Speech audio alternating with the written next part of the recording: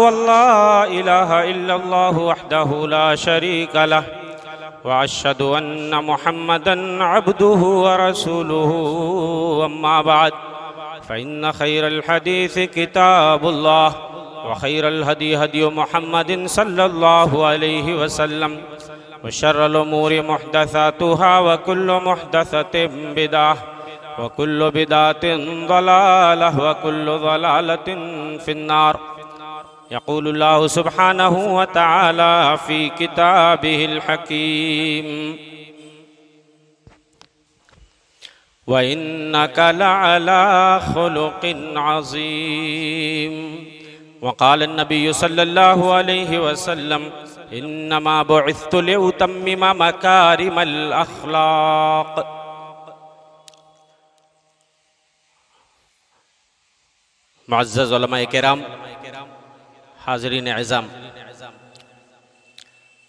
मौजू सुना आपने अखलाक हसना की अहमियत सीरत नबवी की रोशनी में। आम तौर पे जहाँ भी मैं जलसों में हिंदुस्तान के मुख्तलिफ़ शहरों में जाता हूँ, मुंबई, महाराष्ट्र वगैरह के जलसों में, तकरीर से पहले किसी नज्म, नात या हमद की फरमाइश होती है जो लोग मुझे जानते हैं, सुनते हैं। आपके शहर में इल्म हुनर की इस बस्ती में, इस शहर में पहली बार मैं हाजिर हुआ हूँ। मैंने अपने ही उन्वान के हवाले से एक नाते पाक कहने की कोशिश की है। मैं पहली बार इस नात को आपकी खिदमत में पेश करने की सआदत हासिल कर रहा हूँ। चंद मिसरे आप समाप्त करें, उसके बाद इन मैं डायरेक्ट अपने मौजू की तरफ़। मैंने इस पूरी नात के अंदर जो मेरे उनवान का खुलासा है, वो इन आपको नज़र आएगा। हुसन अखलाक से दुश्मन को गिरा देते थे। हुसन अखलाक से दुश्मन को गिरा देते थे। मुस्तफ़ा कब किसे कोड़े से सजा देते थे। दिल दुखाते न थे, गैरों का कभी प्यारे नबी।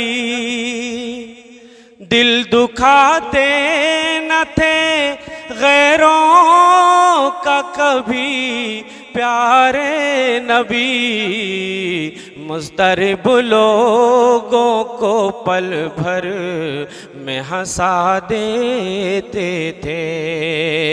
हुसन अखलाक से दुश्मन को गिरा देते थे। माफ़ करने का हुनर मेरे नबी से सीखो। दुश्मन को माफ़ कैसे करते हैं? माफ़ करने का हुनर मेरे नबी से सीखो। माफ़ करने का हुनर मेरे नबी से सीखो। दुश्मन जा को मेरे आका दुआ देते थे।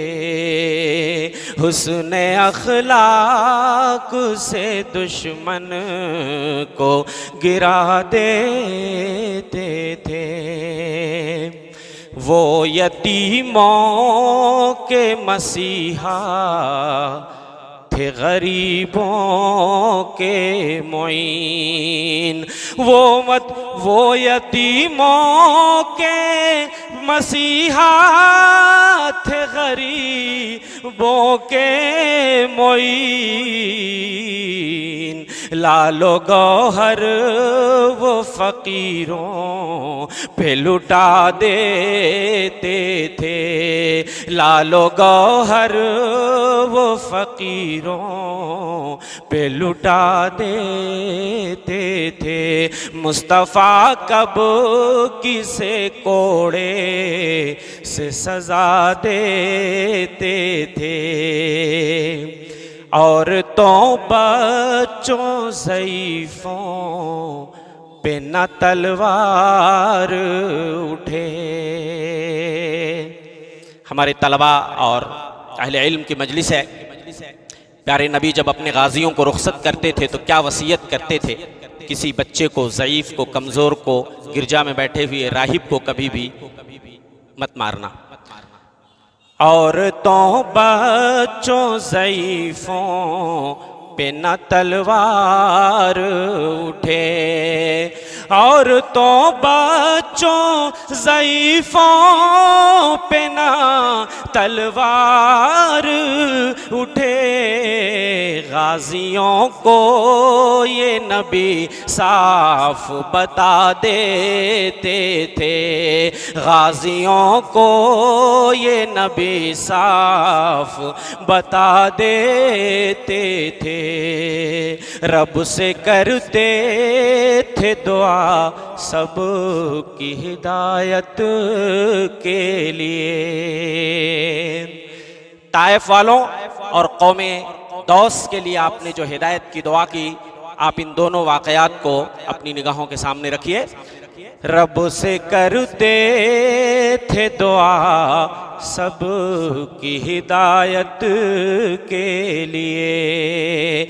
रब से करते थे दुआ सब की हिदायत के लिए। कौम मुशरिक के लिए हाथ उठा देते थे। अल्लाह महदी दौसन। वाति बिहिम अल्लाह महदी कौमी फ़ैन लायालमून कौम मुशरिक के लिए हाथ उठा देते थे। हज़रत हमारी शरीयत हमारी शरीयत, हर उस खसलत, हर उस आदत को अख्तियार करने पे उभारती है, तरगीब दिलाती है। जो अच्छी हो अच्छी हो भली हो भली हो जो अल्लाह जल्ला शाह को पसंद हो, सलीमुल फितरत बंदों को पसंद हो पसंद हो जिसको अख्तियार करने के नतीजे में नतीजे में बंदा अल्लाह का नज़दीकी हो जाता है और बंदों का भी करीबी हो जाता है, ऐसी अच्छी खसलतों को आदतों को मकारी में अखलाक कहते हैं या अखलाक हसना कहते हैं खुशहोई कहते हैं, अच्छी खसलत, अच्छी आदत कहते हैं। इसके बरखिलाफ जो कभी आदतें हैं, बुरी आदतें हैं, जिन आदतों को अल्लाह जल्ला शाहू पसंद नहीं फरमाते, सलीमुल फितरत बंदे भी पसंद नहीं करते और जिनकी वजह से बंदा अल्लाह से दूर हो जाता है और बंदे भी उससे नफरत करने लगते हैं, ऐसी कभी और बुरी आदतों को मसाविल अखलाक, अरबी में मसाविल अखलाक या बुरी आदतें, कभी आदतें या बदखुई भी कहते हैं। बुरी खसलत, बुरी आदत। और हमारी शरीयत ऐसी आदतों पर पाबंदी लगाती है। फरमाया अल्लाह के रसूल सल्लल्लाहु अलैहि वसल्लम ने, मुस्नद बज़ार की रवायत है। हत जाबिर, हदीस के रावी हैं। अन जाबिर इब्न अब्दुल्लाह रदियल्लाहु अन्हुमा क़ाल क़ाल रसूलुल्लाह सल्लल्लाहु अलैहि वसल्लम, इन्नल्लाह युहिब्बु मकारिमल अखलाकी व यकरहु सफसाफहा। रवाहुल इमाम बज़ार फ़ी मुस्नदिही। फरमाया अल्लाह के रसूल सल्लल्लाहु अलैहि वसल्लम ने, बेशक अल्लाह आला अखलाकी कदरों को पसंद फरमाते हैं और घटिया आदतों को अल्लाह जल्ला शाह नापसंद फरमाते हैं, हुसन अखलाक मकारी में अखलाक की हमारी शरीयत में कितनी अहमियत है? इससे, इस बात से आप अंदाज़ा लगाइए कि इससे कौमें बनती और बिगड़ती हैं। इसी पर कौमों के अरूजो जवाल का दारो मदार है। मुसलमान और गैर मुस्लिम की कोई तफरीक इसमें नहीं है। मुस्लिम और गैर मुस्लिम की तफरीक नहीं है। जिस कौम, जो कौम इस राज से आशना हो गई और हुसन अखलाक की अहमियत जो कौम समझ गई, वो तरक्की के मनाजिल तय करने लगी और जो कौम इस राज से आशना न हो सकी, वो तनजुली की दलदल में धंस गई। आप देखिए कि जिस कौम में मकारी में अखलाक हुसन अखलाक का बोलबाला होता है। अदलो इंसाफ सिद्ध बयानी, हमदर्दी, मुसावात, इसी तरीके से जो आला आदतें हैं, आला खसलतें हैं, एक दूसरे के साथ ताउन करना, एक दूसरे के दुख दर्द को समझना, सच बात बोलना, ये सारी अच्छी आदतें जिस कौम के अंदर परवान चढ़ती हैं, वो कौम तरक्की कर जाती है। और जिस कौम के अंदर बुरी आदतें जन्म ले लेती हैं, जैसे जुल्म ज्यादती, कत्ल गारत गरी गीबत, चुगलखोरी किस बयानी जेनाकारी शराब नोशी अयाशी और बदकारी मुनशियात के अड्डे तवाइफों के चकले, जिन जिस कौम और माशरे में आम हो जाए, वहाँ का अमनो अमान गारत हो जाता है और उस कौम का सफ़े हस्ती से मिटना तय हो जाता है। आप तारीख उठा के देखिए। अल्लाह की किताब पढ़िए, कुरान मजीद, कौम आद, कौम समूद, कौम फिर का तस्करा किया अल्लाह ने। कितनी ज़बरदस्त ताकत के मालिक थे ये लोग, ये कौमें। लेकिन जब इनके अंदर बुरी आदतें, बुरी और कभी आदतें जन्म लेने लगी। जुल्म ज्यादती, कत्ल गारत गरी अल्लाह के बंदों पे जुल्म करना माशरे में इन्होंने फसाद बर्पा कर दिया तो सफ़े हस्ती से नीस तो नाबूद हो लगे। ये कुरान की तालीम है, और अगर आप कुरान पढ़ें तो ये सच्चाई आपकी निगाहों के सामने आ जाएगी। हुसन अखलाक की अहमियत का अंदाज़ा आप इस बात से भी लगाइए कि इसी से एक इंसान और जानवर में तमीज़ होती है। अगर अखलाक को साइड में कर दिया जाए, अखलाक को बाजू में कर दिया जाए तो इंसानों की जमात और हैवानों के रेवड़ में कोई फ़र्क नहीं रह जाता है। कोई फ़र्क नहीं रह जाता है। तो मेरे भाइयों हुसन अखलाक की अहमियत को समझो। और इसको बरतो। अमली ज़िंदगी में इसे नाफिज करने की ज़रूरत है। हमारी शरीयत इसी बात की हमें तालीम देती है। आइए मैं आपको कुछ अहादीस मुबारक की रोशनी में हुसन अखलाक की फजीलत क्या है?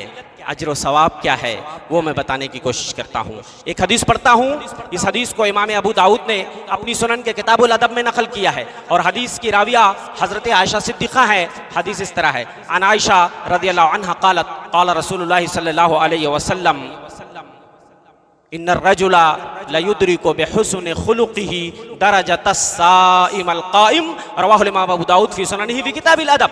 फरमाया हज़रत आयशा ने कि अल्लाह के रसूल सल्लल्लाहु अलैहि वसल्लम ने इरशाद फरमाया, एक आदमी हुस्न अखलाक के नतीजे में एक रोजेदार और तहजद गुजार के दर्जे को पहुँच जाता है। ये हुसन अखलाक का मकाम है, ये हुसन अखलाक का अजर सवाब है। एक आदमी के अखलाक अगर समर जाए, सुधर जाए तो वो आदमी एक रोजेदार और तहजद गुजार के मकाम को पा सकता है। दूसरी हदीस हदीस के रावी हज़रत अबू दरदा हैं और हदीस को इमाम अबू दाऊद ने अपनी सुनन के किताबुल अदब में नकल किया है। हदीस इस तरह है अनबी दरदा रज़ी अल्लाह क़ाल क़ाल रसूलुल्लाह सल्लल्लाहु अलैहि वसल्लम, मा मिन शैइन अथक़लु फिल मीज़ान यौमल क़ियामह मिन हुस्निल खुलुक़। रवाहुल इमाम अबू दाऊद फ़ी सुननिही फ़ी किताबिल अदब। हज़रत अबू दरदा इस हदीस के रावी हैं। फरमाते हैं कि अल्लाह के रसूल सल्लल्लाहु अलैहि वसल्लम ने इरशाद फरमाया, क़यामत के दिन जब तराजू लगाया जाएगा, कांटा लगाया जाएगा उसमें बंदों के अमाल तोले जाएँगे, बंदे भी तोले जाएँगे, और नेकी और बदी के रजिस्टर भी तोले जाएँगे। तीनों की दलील मौजूद है। बंदों को अल्लाह ला के उस तराजू में रखेगा। बंदे, अपने वज़न को तू कांटे में देख ले, तू कितने पानी में है तू खुद ही देख ले तराजू के अंदर तेरा वज़न क्या है। रजिस्टर को भी तोला जाएगा, नेकी और बदित को भी तोला जाएगा। इन तीनों चीज़ की दलील मौजूद है। तो कयामत के दिन जब तराजू लगाया जाएगा तो तराजू में हुसन अखलाक से ज़्यादा कोई चीज़ वजनी नहीं ठहरेगी। कले में तोहीद के बाद, ला इल्लल्लाह के बाद, अगर कोई चीज़ तराजू को बोझल करेगी, अल्लाह के नाम के बाद तो वह हुसन अखलाक है। तीसरी हदीस, हज़रत इमाम अबू दाऊद ने इस हदीस को अपनी सुनन के किताबुल अदब में नकल किया है और हदीस के रावी हस्ते अबू उमामा अलबाहली हैं। फरमाते हैं अनबी उमामा अलबाहली रज़ी अल्लाह रसूलुल्लाह सल्लल्लाहु अलैहि वसल्लम, अना ज़ईमुम बेबैतिन फ़ी रबदिल जन्नह मैं जन्नत के निचले तल्ले में एक महल की जमानत लेता हूँ। किसके लिए? जन्नत जन्नत किसी एक तल्ले का नाम नहीं है। जन्नत में महल्लात हैं, जन्नत में दराजात हैं और जहन्नम में दरकात हैं। जन्नत के बाला खाने जन्नत में जो दराजात हैं, फरमाया अल्लाह के रसूल सल्लल्लाहु अलैहि वसल्लम ने, अना ज़ईमुम बेबैतिन फ़ी रबदिल जन्नह, लिमन तरकल मिराआ व इनका न मुहिक्का। मैं जन्नत के निचले तल्ले में एक महल की जमानत लेता हूँ। किसके लिए? जो झगड़ा छोड़ दे लड़ाई छोड़ दे। ये अच्छी सिफत नहीं है। ये बुरी सिफत है। मैं उसके लिए जन्नत के निचले तल्ले में एक महल की जमानत लेता हूँ। हक पर रहने के बावजूद भी जो झगड़ा न करे, जो झगड़ा छोड़ दे। वसतिल जन्ना। जन्नत के बिचले तल्ले में एक महल की जमानत लेता हूँ। लेमन तरकल कदिबा व इनका नमाजिहा जो झूठ को छोड़ दे, चाहे मज़ाक के तौर पर ही क्यों ना हो। आज हमारे वहाँ भोंडे किस्म के गैर अखलाकी, गैर शाइस्ता किस्म के मज़ाक लोग करते हैं। गाली गलूज पे भी लोग आमादा हो जाते हैं। तो जो झूठ छोड़ दे, चाहे वो मज़ाक के तौर पर क्यों ना हो। झूठ ये बहुत बुरी खसलत है। झूठ की आदत पड़ती है। ये झूठ, ये किस बयानी आदमी को जहन्नम की तरफ़ ले जाती है मेरे भाइयों? बहुत बुरी खसलत है। और अल्लाह के रसूल ने फरमाया, मैं जन्नत के आला तबके में, आला तल्ले में, ऊपरी तल्ले में एक महल की जमानत लेता हूँ। किसके लिए? लिमन हसना खुलुकहू, जो अपने अखलाक को सजा ले, संवार ले अच्छा बना ले। पता ये चला, अखलाक सजाने से सजते हैं, संवारने से संवरते हैं, सुधारने से सुधरते हैं और बिगाड़ने से बिगड़ते भी हैं। इसलिए दोस्तों, अगर हमारे अखलाक में कोई कजी है, इनहराफ है तो हम उसको सजाने की कोशिश करें, संवारने की कोशिश करें। अपनी रविश में सुधार लाने की ज़रूरत है। हम अपने आप को यूँ ही मत छोड़ दें कि जिस भी रविश और डगर पे हम चल रहे हैं, उस पर चलते चले जाएँ। नहीं, अपने अखलाक को सजाने की ज़रूरत है, संवारने की ज़रूरत है। मेरे भाइयों, कायनात के इमाम से पूछा गया, सुनन तिरमिजी की रवायत है, अबू अबुलबुर्री वसला की रवायत है। हँसते अबू हुरैरा हदीस के रावी हैं, फरमाते हैं कि अल्लाह के रसूल से सवाल किया गया।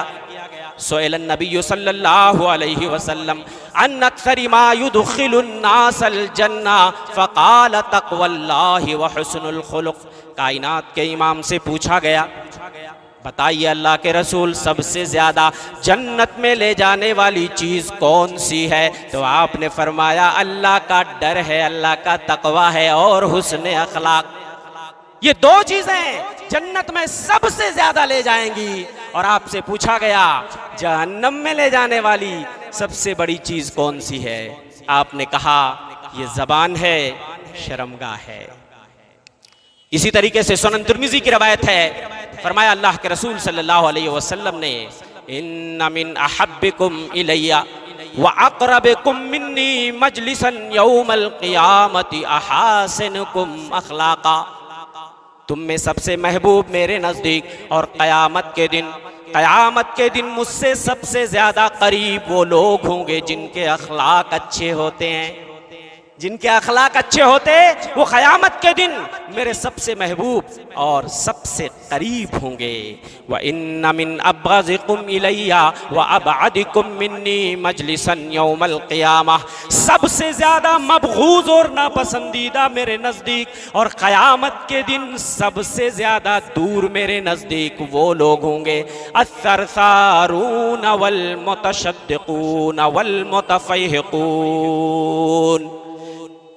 सहाबा ने कहा, अल्लाह के रसूल, हमने सरसारून को जान लिया, मुतशद्दिकून को जान लिया, ये मुतफ़हिकून क्या है? सरसारून कहते हैं, सरसरा कहते हैं कसरत कलाम को। सरसरा अरबी जबान में सरसरा कसरत कलाम को। कुछ लोग चपड़ चपड़ आप देखेंगे, बात करते रहते हैं, उनको वाहियात बकते रहते हैं मुगलजात बकते रहते हैं, सही झूठ की तमीज नहीं, बस उनको बात करनी है। कुछ भी बोलते रहते हैं मजलिस में।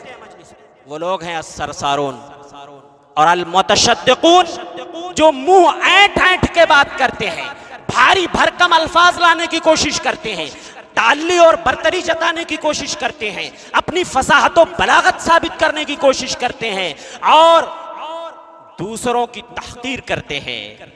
कि तुम्हारी हमारे आगे क्या औकात है? जो मुँह ऐठ ऐठ करके बात करते हैं। सहाबा ने कहा, अल्लाह के रसूल, हमने सरसारून को जान लिया, मुतशद्दिकून को जान लिया। ये मुतफ़हिकून कौन लोग हैं? आपने फरमाया, हुमुल मुतकब्बिरून। ये घमंडी लोग हैं, मुतकब्बिर लोग हैं। तकब्बुर! मोमिन की शान नहीं। मोमिन के लिए जेब नहीं देता। कि वो तकबर करे किब्र नखवत मोमिन का शार नहीं होता। मेरे भाइयों, मोमिन खाकसार होता है, मोमिन मुतवाजे होता है। किस चीज़ पे आदमी घमंड करे? किस चीज़ पे? इस दौलत पे जो फानी है, इस ज़िंदगी पे जो वक्ती है, इस दुनिया पे जो आनी जानी है किस चीज़ पे? बंदा ज़मीन पे अगर अकड़ के चलता है, कुरान ने कहा तखरिकल वलन तबलुगल जिबाल तूला। अरे, तू ज़मीन पे काहे को अकड़ के चल रहा है? तू ज़मीन को फाड़ नहीं सकता, पहाड़ की चोटी तक पहुँच नहीं सकता। बंदे, तेरी औकात क्या है? ये तकबर अल्लाह की शान है। मेरे भाइयों, इसीलिए कहा अल्लाह के रसूल ने, हुमुल मुतकबरून ये घमंडी लोग हैं। अच्छा एक बात बता दूँ। कुछ लोग अच्छा खाते हैं अच्छा पहनते हैं।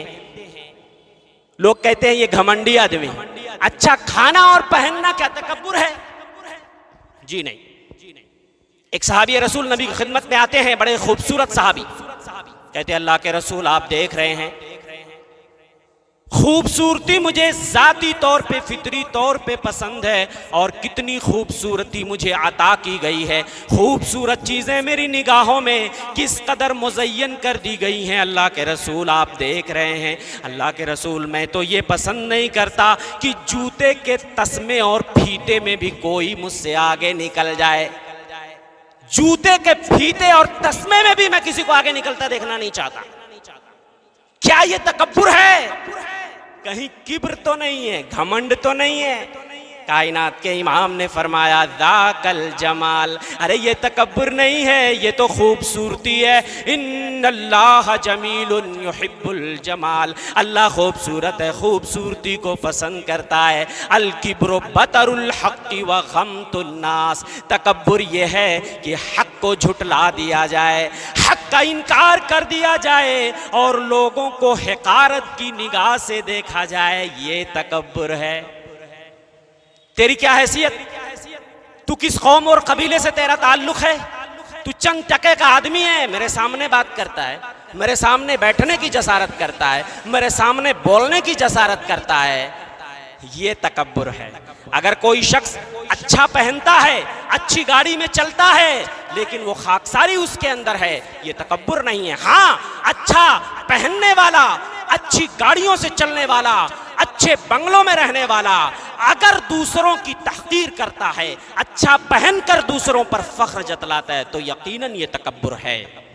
लेकिन अगर उसके दिल में किब्र का जज्बा नहीं है, वो अच्छा खाना पसंद करता है अच्छा पहनना पसंद करता तो मेरे भाइयों, ये तकबर नहीं है। और तकबर बंदा करे भी तो क्या करे? ये तकबर मैंने कहा, किब्र जो है बड़ाई, ये अल्लाह की शान है। अल्लाह जल्ला शान हूँ फरमाते हैं, अल किबरिया उरिदाई, किबरियाई मेरी चादर है, वल अजमत इजारी, अजमत और बड़ाई मेरे, मेरा इजार है।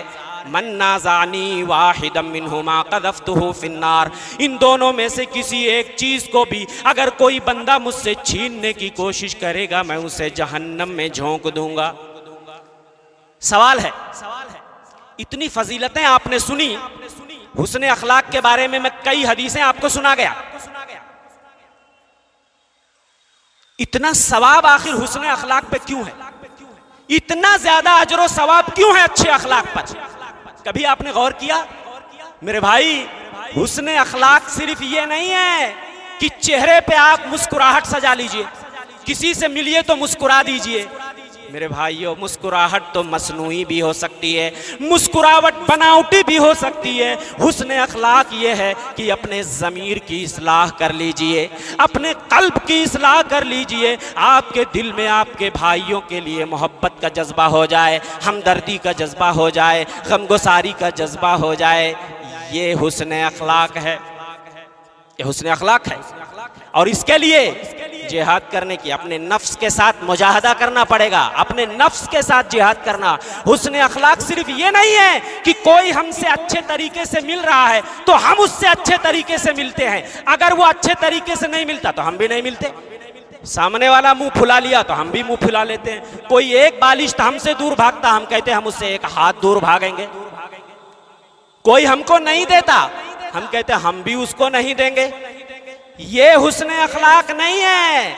हुसन अखलाक तो ये है, कोई हमसे अगर रिश्ता काट रहा है तो हम उससे रिश्ते को जोड़ दें। कोई हमसे भाग रहा है, हम उसके पीछे उसको पकड़ने की कोशिश करें। कोई अगर हमारे ऊपर जुल्म ढा रहा है, हम उसे माफ़ कर दें, उससे इंतकाम और बदला लेने की कोशिश ना करें। कोई अगर हमको महरूम कर दे, हम उसको अता कर दें, हम उसको अता कर दें, दे दें। ये हुसन अखलाक है। ये हुसन अखलाक है। और मेरे भाई, कहना आसान है, लेकिन इस पे अमल करना बहुत मुश्किल है कि कोई भाग रहा हम उसको पकड़े। कोई हमको नहीं दे रहा हम उसको दें। कोई हमको गाली दे रहा हम उसको दुआ दें। कहना आसान है, लेकिन करना मुश्किल। और बंदा, अगर हुसन अखलाक के इन तकाजों को पूरा करने में कामयाब हो जाए, और अपने नफ्स के साथ जिहाद करने में कामयाब हो जाए इसीलिए इतना सवाब हुसन अखलाक पे आया है कि बंदा एक तहजुद गुजार और एक रोजेदार के मकाम को पहुँच जाता है हुसन अखलाक के नतीजे में और तराजू में कोई चीज़ वजनी नहीं ठहरेगी। हुसन अखलाक से ज़्यादा ये फलसफा है हुसन अखलाक का। और ये सब कुछ हमारे कायनात के इमाम मदनी सरदार ने करके दिखा दिया करके दिखा दिया। जिसने पत्थर बरसाए, उसको दुआएँ दी। जानी दुश्मन को भी आपने माफ़ कर दिया। जिस, जिसने रिश्ता काटा, आपने उससे रिश्ता जोड़ कर दिखा दिया। जिसने आप पे जुल्म किया, आपने उससे इंतकाम और बदला नहीं लिया। और ऐसे नहीं, इतना अखलाक के आला मरतबे पर अल्लाह ने आपको फाइज कर दिया। कुरान मजीद ने आपके हुसन अखलाक की तारीफ़ करते हुए कुरान फरमाता है नाजीम ए नबी आप अखलाक के आला मरतबे पे फाइज हैं मुसनत बज़ार की रवायत है अल्लाह के रसूल फरमाते हैं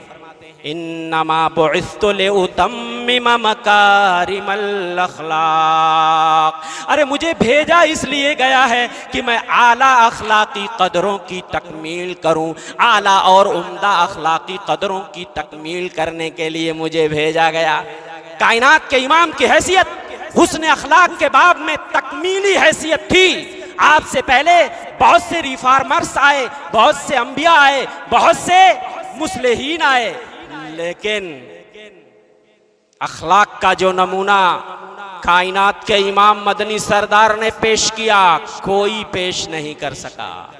कोई पेश नहीं कर सका। आइए मैं चंद झलकियाँ सीरत नबुई से आपकी खिदमत में पेश करता हूँ। चंद झलकियाँ जरा नबी के अखलाक की। मैं आपको मिसाल देता हूँ। हमारे माशरे में बूढ़े हैं, बच्चे हैं, दबे कुचले लोग हैं खादिम हैं, गुलाम हैं। ऐसे लोगों को कोई घास डालता है क्या? एक आदमी बूढ़ा हो गया, साठ, सत्तर, अस्सी साल का हो गया, कोई उसको रेस्पेक्ट देता है? एक बच्चा है, कोई उसको रेस्पेक्ट देता है? कोई उस पर शफकत करता है? बहुत कम लोग। जो खादिम हैं, गुलाम हैं, नौकर हैं, लेबर हैं, हमारे हाथ के नीचे हैं, कितनी इज़्ज़त हम उनको देते हैं? आइए मैं चंद झलकियाँ नबी के अखलाक की। सबसे पहले मैं बुज़ुर्गों से शुरू करता हूँ। सबसे पहले बुज़ुर्गों से शुरू करता हूँ। बुढ़ापा। और तुम्हें क्या मालूम बुढ़ापा क्या है? जब चेहरे पे झुर्रियाँ पड़ जाती हैं, आँखों में उदासी होती है, चेहरे पे मायूसी होती है, दाढ़ी पक जाती है, हाथ में छड़ी और डंडा है, आवाज़ में लर्जिश है, चाल में कपकपाहट है इसको बुढ़ापा कहते हैं। ऐसे आदमी को बूढ़ा कहते हैं। और ऐसे बूढ़े को कोई मुँह नहीं लगाता। अरे दूसरों की बात जाने दीजिए। अपनी औलाद मुँह नहीं लगाती है। अगर बूढ़ा बाप दवाई माँगता है, पानी माँगता है तो बेटा डांट के चुप कर देता है। बुढ़े बैठे रहो। टर टर क्या लगा के बैठे? होता है कि नहीं होता है? मेरे भाइयों, बुज़ुर्गों की अहमियत क्या होती है? आइए कायनात के इमाम, मदनी सरदार से जानने की कोशिश करते हैं। चंद झलकियाँ नबी की सीरत से हम आपकी खिदमत में पेश करते हैं। ज़यीफ़ों, कमज़ोरों, बुज़ुर्गों का आपने कितना कितना उनको मकाम दिया? सुनन तिरमिजी की रवायत है। अनस इब्न मालिक हदीस के रावी हैं। फरमाते हैं, एक बुज़ुर्ग अल्लाह के रसूल की खिदमत में आते हैं। मजलिस जमी हुई है, एक बुज़ुर्ग आते हैं। लोग उनको जगह देने में थोड़ी सी ताखीर कर देते हैं। मजलिस में जगह देने में ताखीर हो जाती है। कायनात के इमाम नाराज़ हो जाते हैं। आप फरमाते हैं लई समिन्ना मल्लम यरहम सगीरना वक्र कबीरना। वो हम में से नहीं है जो हमारे छोटों पे रहम ना खाए, हमारे बड़ों की इज़्ज़त ना करे। ओलमा और तलबा भी बैठे हैं, आप हदीस की किताबों में पढ़ते होंगे। जहाँ जहाँ भी लईसा मिन्ना इस तरह के गुनाहों पे आता है, इस तरह के जुर्म पे, उसका यह मतलब नहीं है कि वो इस्लाम से खारिज है। क्या तोजीह की जाती है? लईसा मिन्ना, लईसा अला, हदियना लई अला सुन्नतना, वो हमारे तरीके पर नहीं है, हमारी सुन्नत पे नहीं है। लेकिन अगर कोई नबी की सुन्नत पे ना हो, नबी की सुन्नत और तरीके से एराज करे तो ये ये भी अपने आप में एक बड़ी वईद है। ठीक है, वो इस्लाम से खारिज नहीं है। लेकिन वईद तो शदीद है ना? वईद शदीद है। कायनात के इमाम फरमाते हैं लई समिन्ना वो हमारे तरीके पर नहीं है। जो हमारे छोटों पे शफकत ना करे, हमारे बड़ों की इज़्ज़त ना करे। और आइए, ये तो हदीस है ना, कौली हदीस। आइए, प्रैक्टिकल आपको दिखाता हूँ। कायनात के इमाम ने बुज़ुर्गों की इज़्ज़त किस तरह की है वैसी इज़्ज़त हमें करनी पड़ेगी। एक बूढ़ी खातून नबी के दरवाजे पे दस्तक देती हैं। कायनात के इमाम पूछते हैं, मन अंती, कौन है आप? कहती हैं, अना जस्सामा अलमुजनिया। मेरा नाम जस्सामा अलमोजनिया है। अल्लाह के रसूल फ़ौरन पहचान जाते हैं और उनका नाम बदल कर कहते हैं, बल अंति हसाना अलमोजनिया। जस्सामा का माना अच्छा नहीं होता। जस्सामा का माना अरबी जबान में अच्छा नहीं था। इसलिए अल्लाह के रसूल वसल्लम ने उनका नाम बदल कर हसाना कर दिया। वेलकम कहा। दरवाज़ा खोला। बूढ़ी अम्मा दरवाजे में दाखिल होती हैं। तशरीफ़ रखती हैं कायनात के इमाम के घर में। अल्लाह के रसूल सामने बैठ जाते हैं। बूढ़ी खातून हैं। कायनात के इमाम खैरियत पूछते हैं कई फ़हालुकुम कई फ़हालुकुम कई फ़तीकुम कई फ़कुन तुम बादना? सवाल पे सवाल सवाल पे सवाल। खैरियत पे खैरियत। अरे अम्मा सुनाओ, क्या हाल है? बूढ़ी खातून सुनाओ, क्या हाल है? कैसे गुजर बसर हुई? मक्के में मुलाकात हुई थी, जब से अब मुलाकात हुई। तो बताओ, ज़िंदगी कैसे गुजरी? कहती हैं बेखैरिन बे अबी, अंत व उम्मी या रसूल अल्लाह कायनात के इमाम मेरे माँ बाप आप पे कुर्बान, हमारी ज़िंदगी बड़ी अच्छी गुजरी। खाना पेश करते हैं।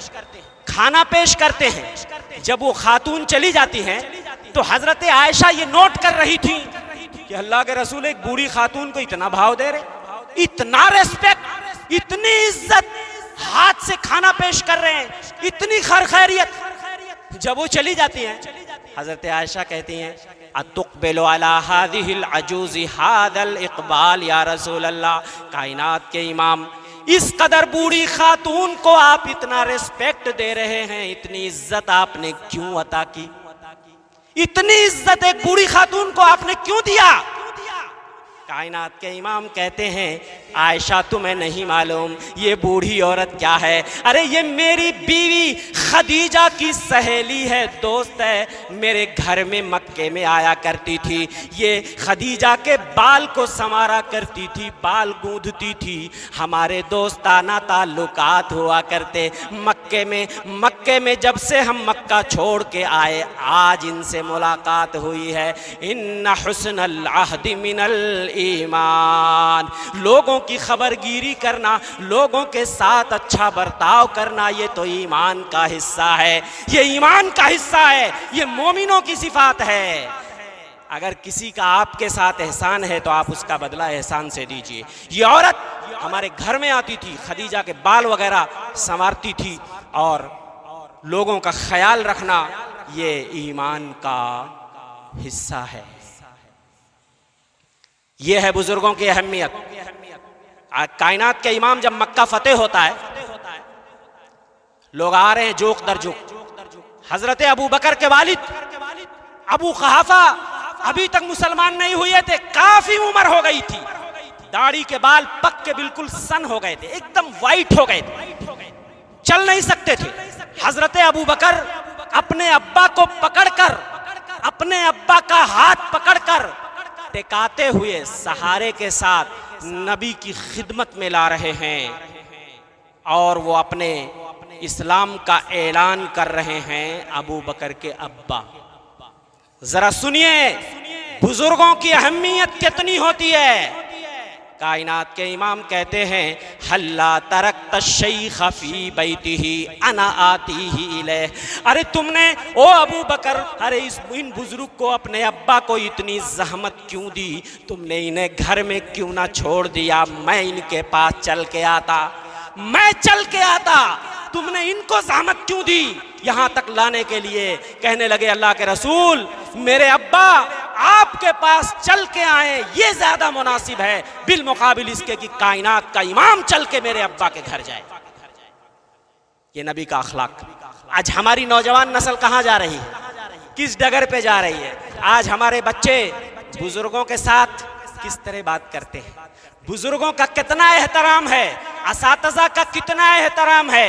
बड़ों बड़ों का कितना एहतराम है? ज़रा आप देख लीजिए, पहले के मुकाबले में, आज से 40-50 साल पहले का जो माहौल था, आज अभी शेख जफरुल हसन से गुफ्तगु हो रही थी, इसी चीज़ का रोना रो रहे थे। इसी चीज़ के बारे में इजहार अफसोस कर रहे थे कि आज अखलाक का जनाजा निकलता जा रहा है। आज की नौजवान नस्ल अखलाक बाख्तगी का शिकार होती जा रही है। बड़ों का कोई अदब और एहतराम आज की जनरेशन जो है, नई नस्ल, उसके दिलों में बाकी नहीं है। तो मेरे भाइयों, ये नबी का अखलाक है। ये नबी का अखलाक है। आइए, बच्चों के बारे में देख लेते हैं। छोटे छोटे बच्चे, मासूम बच्चे। आज कोई बच्चों को सलाम करता?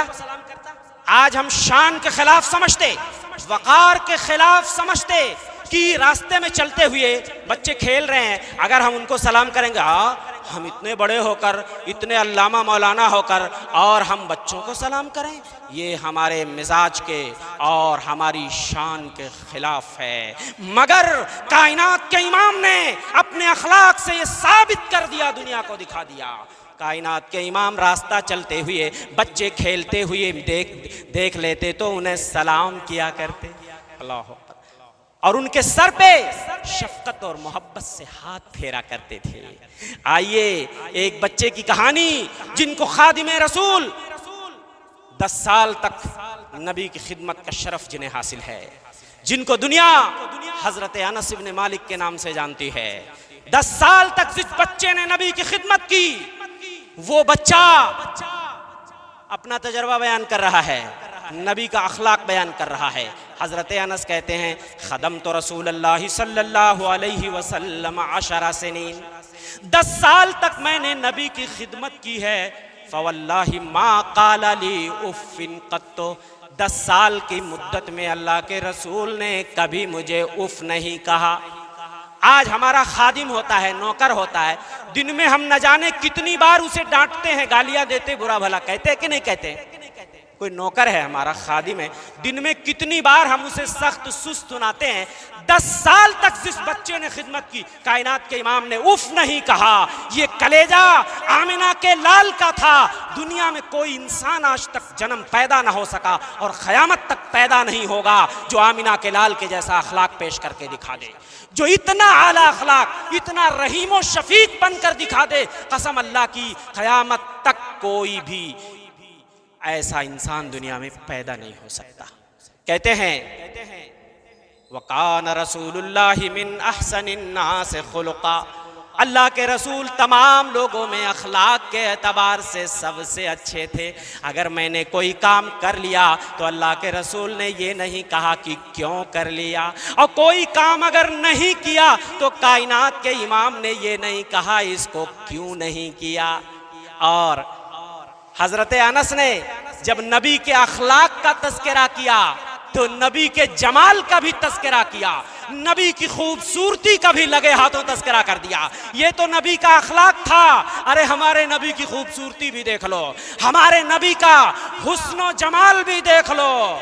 ये तो अखलाक, ये बातनी खूबसूरती थी, जाहरी खूबसूरती भी देख लो। हज़रत अनस की जबान से सुन लो, कहते हैं, वल्लाही हरीरन कसम अल्लाह की मैंने किसी रेशमो दीबाज को नबी की हथेली से ज़्यादा मुलायम नहीं पाया। वला शमम तो इतरन कत्तो वला मिसका अतियब मिन अरक रसूलिल्लाह मैंने किसी भी मुश्को अंबर को नबी के पसीने से ज़्यादा महकता हुआ नहीं पाया। रुख मुस्तफ़ा है वो आईना कि अब ऐसा दूसरा आईना। रुख मुस्तफ़ा है वो आईना कि अब ऐसा दूसरा आईना। न हमारी बज़ में ख्याल में न दुकान आईना साज में। गुल है अगर बदन तो पसीना गुलाब है। गुल है अगर बदन तो पसीना गुलाब है। सल्ले अला, वो जिस मेरे सालत माब है। और मैंने अपनी एक नात में कहा था कि हज़रत अनस को आपने उफ तक नहीं कहा। हज़रत अनस को आपने उफ तक नहीं कहा। दस साल तलक आपका खादिम जो रहा है। दस साल तलक आपका खादिम जो रहा है। हाथों में लिए खुशबू वो लौटा है अपने घर। हाथों में लिए खुशबू वो लौटा है अपने घर। जिस शख्स ने भी दस्त मोहम्मद का छुआ है। उस जिसम मुबारक पे हुई संग की बारिश। ताइफ का वाक़ याद करो।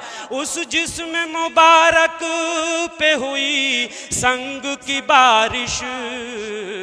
तायफ के मकीनों के लिए फिर भी दुआ है। तायफ के मकीनों के लिए फिर भी दुआ है। ये पूरी नात मेरी है। कभी दोबारा अगर हाजिरी हुई तो सुनाऊँगा। मैं अपना मौजू ये बहुत वसी अरीज़ है, इसलिए मैं चंद झलकियाँ और दिखाना चाहता हूँ। आपने बूढ़ों को देखा? बच्चों के साथ नबी का अखलाक? छोटे छोटे बच्चों को लोग नबी की गोद में लाके दे दिया करते थे।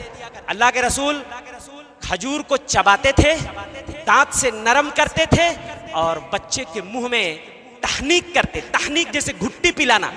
बच्चे के मुँह में बरकत के लिए अल्लाह के रसूल खजूरों को नरम करके बच्चों के मुँह में डाल दिया करते थे। एक बार तो मामला यहाँ तक पहुँच गया कि एक शीर खार बच्चे ने नबी अकरम सल्लल्लाहु अलैहि वसल्लम का कपड़ा भी गीला कर दिया। हाय हाय। गुस्सा किया? नाराज़ हो गए? गुस्सा किया आपने? आपने ये नहीं सोचा कि मैं कायनात का इमाम हूँ?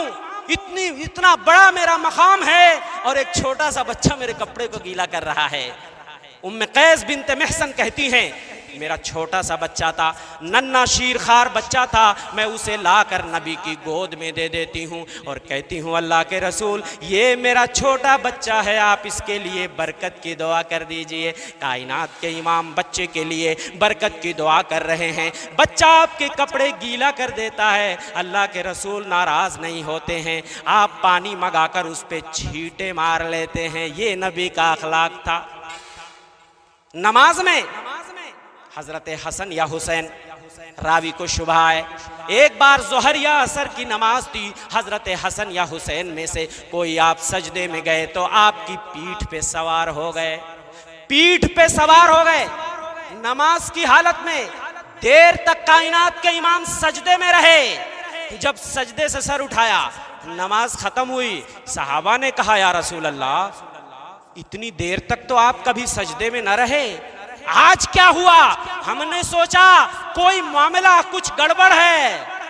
कहने लगे, मामला यह है कि मेरा बेटा मेरी पीठ पे सवार हो गया था। मैंने उसको जल्दी, ताकि मैं उसे जल्दबाजी में मुब्तला ना कर दूँ। मैंने सोचा, जब तक ये अपनी ज़रूरत पूरी नहीं करता, मैं इसे खुद से नहीं उतारूँगा। हज़रत उमामा उमामा बिनते जैनब नबी की बेटी की बेटी, नवासी, अबुलास की बेटी, बाप का इंतकाल हो गया है। कायनात के इमाम बड़ा तरस खाते थे अपनी नवासी पे। कभी कभी उठा के मस्जिद में ले आते थे। मस्जिद में ले आते थे। और आप एक बार मस्जिद में लेके ओमामा को आए और जब तक आप खड़े रहे, कंधे पे बिठाए रहे, जब सजदे में गए तो उठा के ज़मीन पे रख दिया। अल्लाह आज हम छोटे बच्चों को मार के मस्जिदों से भगा देते हैं। छोटे बच्चों को मार के मस्जिदों से भगा देते हैं। यकीन जानो मेरे भाइयों, जिन बच्चों को आज मार के हम मस्जिदों से भगा रहे हैं, कसम अल्लाह की बड़े होने के बाद इन बच्चों को दोबारा मस्जिद में लाने के लिए हमें बड़ी मेहनत करनी पड़ेगी। आने दो बच्चों को। अरे यहाँ नहीं सीखेंगे तो कहाँ सीखेंगे? मुझे कोई ऐसी दलील नहीं मिली कि बच्चों को मार के मस्जिदों से भगा दिया। हाँ बड़े जो हैं, अपनी निगरानी में बच्चों को लाएँ और उन पे निगाह रखें, उन्हें मस्जिद का अदब बताएँ, एहतराम बताएँ, उन पे निगाह रखें। कायनात के इमाम हसन और हुसैन एक बार, कायनात के इमाम खुतबा दे रहे हैं, सुर्ख कमीज पहने हसन और हुसैन चले आ रहे हैं। कमीज लंबी थी, कभी फिसल रहे हैं, कभी गिर रहे हैं, कभी उठ रहे हैं। खुतबे के दौरान हसन हुसैन गिर रहे हैं, संभल रहे हैं। कायनात के इमाम मिंबर से नीचे तशरीफ़ लाए और उन्हें उठा कर ला के मिंबर के बगल में रख दिया। कहते हैं, लकद राई तो हादईनी मैंने इन दोनों को इस हाल में देखा तो मैं सबर नहीं कर सका और मुझे मिंबर से उतरना पड़ा। अपनी बात को मुझे रोकनी पड़ी। अरे अल्लाह ने कुरान में सच कहा है नमा अमवालुकुम वाउलादुकुम फितना। ये मालो औलाद तुम्हारे लिए फितना है। ये हमारे नबी का अखलाक था। इसी तरीके से खादिमों और गुलामों के साथ, लेबरों के साथ जो हमारे अंडर में काम करते हैं, हमारा उनके साथ बर्ताव क्या है, जरा बताइए मुझे आप। कायनात के इमाम ने खादिमों और गुलामों को कितना बड़ा मकाम दिया है। मैं हदीस पढ़ता हूँ, सही बुखारी की। मारूर इब्ने सुवैद हदीस के रावी हैं, कहते हैं राई तो अला अबा अभी जर नील गफारी हुल्ला व अला गुलामी ही हुल्ला। मिसला मैंने हज़रत अबू जर गफारी को देखा, जो जोड़ा पहने वो सेम जोड़ा गुलाम भी पहना हुआ है। जो जोड़ा पहने हैं, सेम जोड़ा गुलाम को। अरे, आका और गुलाम एक जैसा जोड़ा, ऐसा कैसे चलेगा भाई? कहने लगे, मैंने एतराज़ कर दिया, मैंने एतराज़ कर दिया हज़रत, ये मैं क्या देख रहा हूँ? जो जोड़ा आपने पहना है, वही जोड़ा गुलाम को। अरे, आका और गुलाम में कुछ फ़र्क होना चाहिए। मालिक में और नौकर में कुछ फ़र्क होना चाहिए कि नहीं होना चाहिए? कहने लगे, मामला ये है, मैंने एक आदमी को बुरा भला कह दिया था। उसने मेरी शिकायत नबी से कर दी। कायनात के इमाम ने मुझे बुलाया और कहा आयर तहु बे ही तुमने उसे माँ के हवाले से जलील किया है। माँ के हवाले से उसकी तजलील की है। एक रिवायत में है कि उन्होंने इब्न सौदा कह दिया था, कलूटी का बेटवा। उसने शिकायत कर दिया उन्होंने। तो कायनात के इमाम ने कहा आयर तहूबे उम्मी ही माँ के, माँ का नाम लेकर तुमने उनको जलील किया है। इन्नमा इखवानुकुम खवलुकुम, ये खादिम नौकर तुम्हारे भाई हैं। जालहुमुल्लाहु तहताई अल्लाह ने तुम्हें इन तुम्हारे हाथों के नीचे इनको रखा है। फ़र्क यह है, तुम ऊपर हो, ये नीचे हैं, तुम्हारे अंडर में हैं, वरना है तुम्हारे भाई।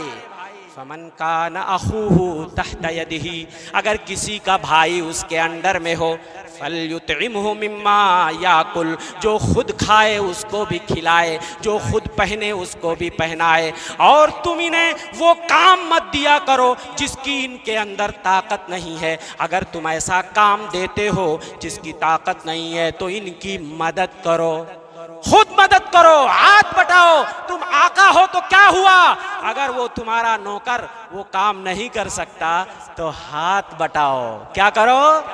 आज कोई कोई मालिक नौकर का हाथ बटाएगा? मुझे बताइए, ये कायनात के इमाम ने दर्श दिया है। ये नबी के अखलाक का, ये ये झलक आप अपनी निगाहों के सामने रखिए। इसी तरीके से हज़रत अबू मसूद अंसारी कहते हैं, एक बार मैं अपने गुलाम को पीट रहा था। कोड़े से बेतहाशा मार रहा था, पिटाई कर रहा था, पिटाई कर रहा था। इतने में पीछे से आवाज़ आती है एलम अबा मसूद एलम अबा मसूद। ओ अबू मसूद, खबरदार हो जाओ, खबरदार हो जाओ। लल्लाह अकदर का मिन काला हादल गुलाम। जितना तुम इस गुलाम को पीटने पे ताकत रखते हो, तुम्हारा अल्लाह कहीं ज़्यादा तुम्हारे ऊपर ताकत रखता है। कहते हैं, मैं पीछे पलट के देखता हूँ, कायनात के इमाम चले आ रहे हैं। फसकत तो मिन यदि, कोड़ा मेरे हाथ से छूट कर गिर गया। कोड़ा मेरे हाथ से छूट के गिर गया।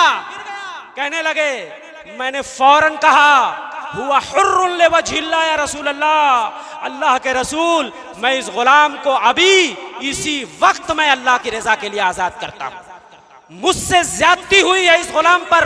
मैं इसे अल्लाह की रजा के लिए आज़ाद करता हूँ। अल्लाह के रसूल ने फरमाया अमालम तफल अगर तुम ऐसा न करते ललफत कन्नारो यौमल क़ियामा, क़यामत के दिन जहन्नम की आग तुम्हें जला देती। ये कायनात के इमाम ने ये अखलाक पेश किया। इतना बुलंदो बाला अखलाक। इसी तरीके से मेरे भाई, नबी के अखलाक का एक पहलू ये भी है कि अल्लाह के रसूल एहसान का बदला एहसान। एहसान का बदला एहसान। अगर हमारे नबी पर ज़िंदगी में किसी ने मामूली भी एहसान कर दिया तो कायनात के इमाम उस एहसान को कभी ना भूले। नबी रसूल होने के बाद भी ना भूले, और जहाँ तक हो सका उसका अच्छा बदला दिया। आज हमारे वहाँ खुद गरजी मसलहत परस्ती, एहसान फरामोशी ना शुक्री आम हो चुकी है। खुद अपने घर में देख लें। एक बीवी जिसे आप कमा कर खिलाते हो गाढ़ी कमाई, आपकी कमाई पर एक बीवी नेमतों में इटखेलियाँ खेल रही है। आपकी दौलत पे, आपकी कमाई पे गुलछर्रे उड़ा रही है। लेकिन एक मौका पर कहीं आप चूक गए एक मौके पर आप चूक गए। और ईद बकरीद में बनारस की साड़ी न दिला पाए। बे, हमारे वहाँ मसल मशहूर है, बनारस की बीवियों को अगर खुश करना है, मनाना है तो कह दीजिए, अब की ईद में तुमको बनारस की साड़ी ला के दूँगा। ये हमारे वहाँ मसल मशहूर है। तो मैं बनारस शहर में हूँ। अगर एक मौका पर कभी आदमी चूक गया, एहसान फरामोशी नाशुक्री किसको कहते हैं? ज़िंदगी भर वो औरत शौहर की गाड़ी कमाई पर नेमतों में इटखेलियाँ खेलती है। एक मौके पर शौहर चूक गया। औरत फ़ौरन कहती है मारा आई तो मिन का खैरन कत्तो। तेरे घर में जब से आई हूँ, ये चौखट जब से मैंने पार किया, कभी सुख चैन का मुँह नहीं देखा। अरे एक मौके से चूक गया। इतनी बड़ी नाशुक्री। इस हदीस का पसमंजर है मेरे भाई। पसमंजर है इस हदीस का। कायनात के इमाम ने कहा, मुझे जहन्नम दिखाया गया। मैंने खुली आँखों से देखा। मैंने सबसे ज़्यादा जहन्नम में औरतों को देखा। और उसके बाद आपने फरमाया, इसलिए ले अन्ना यकफुरना। इसलिए कि औरतें कुफ्र करती हैं। कुफ्र करती हैं। कुफ्र का दो मतलब होता है। एक अल्लाह के साथ कुफ्र करना। और एक कुफरान नेमत नेमत की नाशुक्री। तो आपने कामन बात कही। कामन बात कही क्यों? ताकि औरतों के दिलों में शौक पैदा हो। औरतें पूछें, कौन सा वाला कुफ्र करती हैं? तब जहन्नम में सबसे ज़्यादा जाएँगी। औरतों ने सवाल किया अल्लाह के रसूल, क्या औरतें अल्लाह के साथ कुफ्र करती हैं? आपने कहा नहीं। ले अन्ना यकफुरशीरा शौहरों की नाशुक्री करती हैं। वयकफुरनल एहसाना एहसान फरामोशी करती हैं। लऊ दहरा, ज़िंदगी भर एहसान करते रहो। तुम रात मिन कशैया कभी एक मौके पर कुछ कमी देख ली, औरत ने तो कहती है मारा आई तो मिन का खैरन कत्तो, मैंने तुमसे कोई भलाई नहीं देखी। ये है एहसान फरामोशी, ना शुक्री। आज औलाद को आप देख लीजिए, औलाद को देख लीजिए, जिसकी परवरिश और तरबियत में एक बाप अपनी पूरी जवानी खपा देता है। जब बाप की पीठ झुक जाती है तो बेटा कहता है, तुमने हमारे लिए किया ही क्या है? तुमने हमारे लिए क्या किया है? अब सोचो, बूढ़े माँ बाप के जिगर पे, कलेजे पे क्या गुजरती होगी। जब बच्चे इस तरह की एहसान फरामोशियाँ करते हो एक बूढ़ा बाप कैसे इसको बर्दाश्त करता होगा? मेरे भाइयों, कुरान की तालीम है, नबी की तालीम है। हल जजाउल एहसान एहसान। एहसान का बदला, एहसान। माँ बाप के साथ तो हुसन सलूक और एहसान का, अगर इस पर मैं बात करूँ, बहुत लंबी बात। मैं नबी की सीरत से चंद झलकियाँ दिखाना चाहता हूँ। नबी की सीरत से और उसके बाद अपनी बात खत्म करूँगा। हमारे नबी पे मामूली भी एहसान अगर किसी ने भाई, एक बीवी का भी अगर एहसान है तो ये हुसन अखलाक है कि हम बीवी का भी एहसान न भूलें। बीवी मर जाती है, दूसरी बीवी घर में आ जाती है। कोई पहली बीवी का नाम लेता है, दूसरी बीवी को खुश करने के लिए कोई पहली बीवी की तारीफ़ नहीं करता। जबकि वो जो चली गई, उसने न जाने कितनी कुर्बानियाँ दी होंगी। कोई उसके एहसान का तस्करा नहीं करता। मगर एक शख्सियत थी, कायनात के इमाम। अपनी बीवी खदीजा का एहसान कभी ज़िंदगी में ना भूल सके। और जितनी तारीफ़ नबी ने खदीजा की की, किसी की नहीं की। हज़रत आयशा बयान करती हैं, अल्लाह के रसूल जितनी तारीफ़ खदीजा की करते थे, किसी की ना करते। जब भी घर से निकलते तो खदीजा का नाम जबान पे खदीजा की तारीफ़ करते चले जाते। एक दिन मैं बर्दाश्त नहीं कर सकी। मुझे गैरत आ गई। सौकनों वाली गैरत जो हुआ करती है, मैंने कहा, आप उस बुढ़िया को क्यों इतना याद करते हैं? अल्लाह ने आपको उससे कहीं ज़्यादा हसीन व जमील औरत अता किया क्यों आप खदीजा को याद करते रहते हैं? कायनात के इमाम नाराज़ हो गए आपने कहा, ओ आयशा, तुम्हें क्या मालूम कि खदीजा मेरी बीवी कौन थी? कौन थी खदीजा? आओ मैं तुम्हें बताता हूँ। जब लोगों ने मेरा इनकार किया, मेरी बीवी खदीजा ने बढ़ के मेरे हाथों पे इस्लाम कबूल किया। जब लोगों ने मेरी तकजीब की मुझे झुटलाया तो मेरी बीवी खदीजा ने मेरी तस्दीक कर दी। जब लोगों ने मुझे महरूम कर दिया अपने माल से, मेरी बीवी खदीजा, जो मक्के की ताजिर खातून थी, उन्होंने अपना माल का दहाना मेरे लिए खोल दिया। मेरी बीवी ने माल का दहाना खोल दिया मेरे लिए। कभी मेरी बीवी ने बखीली नहीं की मेरे लिए। हाय हाय, अब खदीजा को ना याद करूँगा तो किसको याद करूँगा? और एक बात और सुन लो, मेरी बीवियों कान खोल कर सुन लो। तुम में से किसी ने मुझे बच्चे नहीं दिए। अगर बच्चे दिए तो मेरी बीवी खदीजा ने अब खदीजा को ना याद करूँगा तो किसको याद करूँगा? कायनात के इमाम। एहसान का बदला एहसान। हल जजा उल एहसान एहसान। एक रजाई बहन हुआ करती थी जिनका नाम था शीमा बिंतुल हारिस अल असदिया आपकी रजाई माँ हलीमा सादिया की बेटी, जब अल्लाह के रसूल दाई हलीमा के वहाँ दूध पी रहे थे, छोटे से थे तो हलीमा सादिया की एक बेटी थी, जो नबी करीम वसल्लम से पाँच छः साल बड़ी थी, उनका नाम था शीमा बिनतुल हारिस अल असदिया गजवे हुनैन के मौका पर, जब मुसलमानों ने हवाजिन कबीले पे हमला किया बहुत सारे लोग बंदी बनाए गए कैदी बनाए गए। उसी में शीमा बिंतुल हारिस भी कैदी बनाई बना, बनाई गई। शीमा आती हैं साहबा के पास कहती हैं ओ लोगो तुमने मुझे पकड़ रखा है। अरे मैं तुम्हारे नबी की बहन हूँ। अच्छा बहन हो? हम तो नहीं जानते कि हमारे नबी की कोई बहन है। ले चलो मुझे कायनात के इमाम के पास। कायनात के इमाम के पास शीमा आती हैं। कहती हैं अल्लाह के रसूल आपने मुझे पहचाना नहीं मैं आपकी रजाई बहन हूँ। दूध शरीक बहन हूँ। कायनात के इमाम भी चक्कर में पड़ गए। हाँ मेरी रजाई बहन इतनी मुद्दत के बाद कौन पहचान सकता है शक्ल? आप बताइए। अधेड़ उम्र हो जाए जवान हो जाए कोई बचपन से जवानी तक ना देखे हो। हाँ? शेख शक, शेख असलम साहब को शेख अब्दुल मतीन साहब को और बहुत सारे हमारे दोस्तों में से हैं। पंद्रह बीस साल के वक्फे से देखा तो मैं चौंक गया।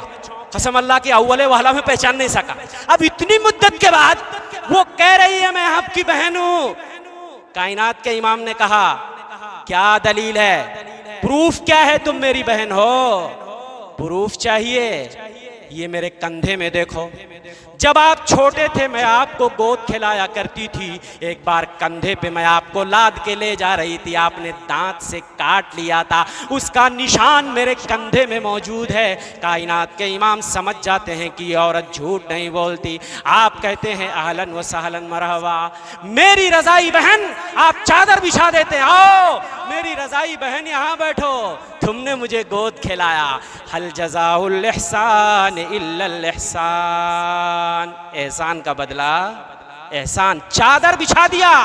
और ये शीमा है जो कायनात के इमाम से इतनी मोहब्बत किया करती थी, लोरियाँ सुनाती थी, आपको गोद खिलाती थी, धूप हो जाती तो साय में लेके भाग जाती थी, मेरे लाडले को कुछ नुकसान न हो जाए। लोरियाँ सुना, मैं लोरी सुना दूँ? सुनेंगे लोरी? उर्दू में नहीं है लेकिन अरबी में है। सुन लीजिए, मैं तर्जुमे के साथ सुनाता हूँ।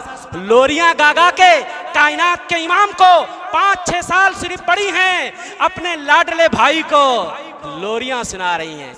या अब कीलना मोहम्मदा। ओ हमारे परवरदिगार, हमारे भैया मोहम्मद को तू ज़िंदा रखना हो मेरे परवरदिगार। हत्ता हत्ता अरा हो या फ़ान व अमरदा। मैं उनको कड़ियल जवान देखना, खूबसूरत नौजवान देखना चाहती हूँ। एक नन्ही बच्ची के जज्बात ज़रा देखिए। कायनात के इमाम के लिए सगे भाई नहीं है, रजाई भाई हैं। दुआ कर रही है। मैं इन्हें जवान राना देखना चाहता हूँ, चाहती हूँ। खूबसूरत नौजवान जवानी को पहुँच जाए। हाय हाय। तुम्मा अराह सैदम मुसवदा मैं इन्हें अपनी कौम, अब मैं इन्हें कबीले और कौम का सरदार देखना चाहता हूँ, चाहती हूँ। सारे लोगों का सरदार है, अल्लाह इन्हें बना दे। वकबित आदि ही मानवल हुसदा और अल्लाह, इनके हासिदों और दुश्मनों का तू खात्मा कर दे।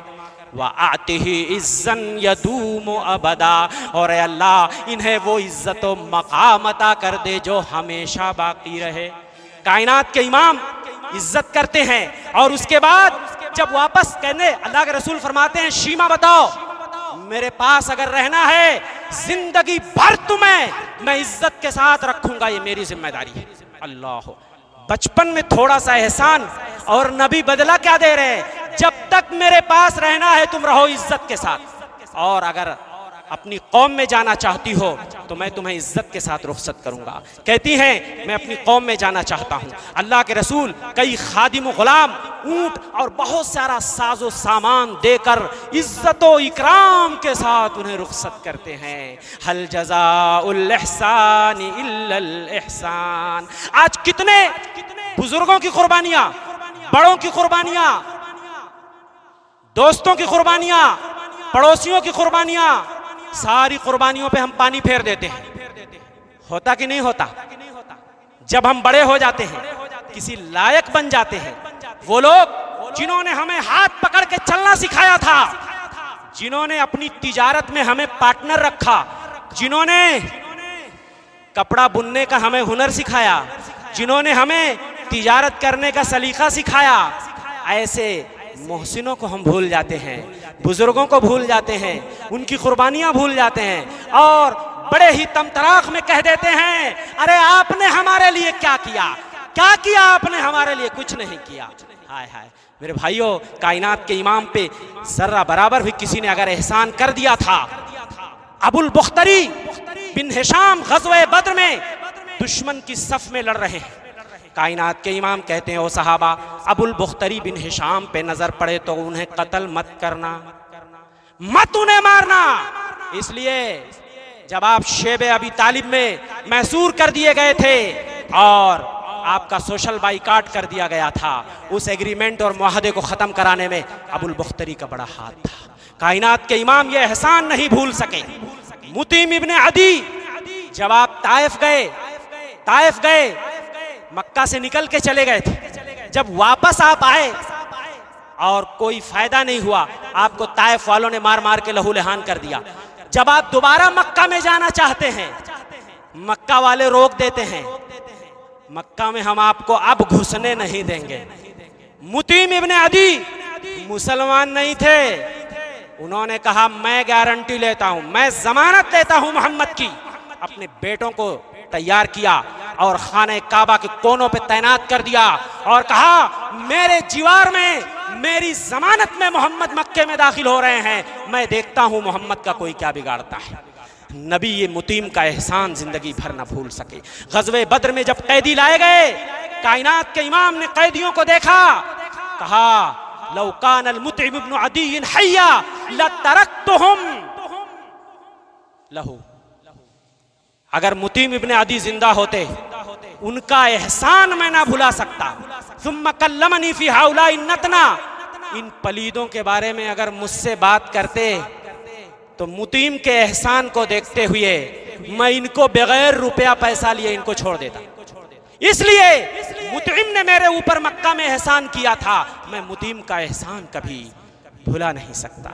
हम बुज़ुर्गों का एहसान भूल जाते हैं, मोहसिनों का एहसान भूल जाते हैं, मुरब्बियों का एहसान भूल जाते हैं इस का एहतराम भूल जाते हैं, तरबियत करने वालों का एहसान भूल जाते हैं, तिजारत सिखाने वालों का एहसान भूल जाते हैं, मदद करने वालों का एहसान भूल जाते हैं। मेरे भाइयों, ये दर्स हमें मिला है नबी की सीरत से कि दोस्तों, जिसने भी तुम्हारे ऊपर एहसान किया, कभी मौका आ जाए दिल खोल के मदद कर दिया करो।